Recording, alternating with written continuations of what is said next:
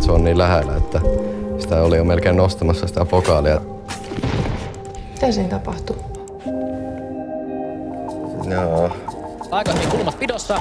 Saako otettua sitä väkeäkin vielä tiekin läpi juosta aika vauhilla. Vitun nätti Bona! Bona oli tänään aivan liekeissä. Osatti korottaa tämmöistä starttia. Illalla pistää vielä kovemmin. Mun ongelmat on pään sisällä. Aikamoisen temppu pitää Bona tehdä, että pääsee tämän kierroksen voittamaan. Varmaan joku seitsemän, kahdeksan kertaa ne ollut finaalissa ja aina hävinnyt. Jos noihin paineisiin ja kykyihin, jos siihen saisi jotain apua, että just ei. Hyvin vittu mä sain.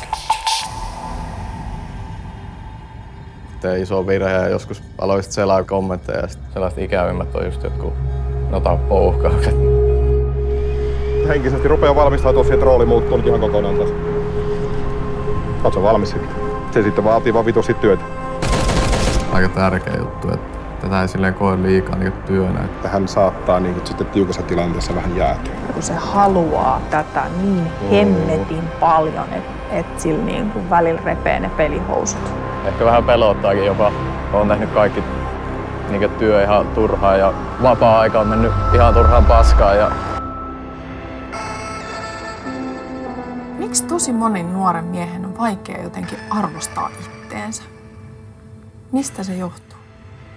Sä oot kuitenkin paljon muutakin kuin pelaaja. Niin. Nyt on oikeasti viimeinen chanssi. mm,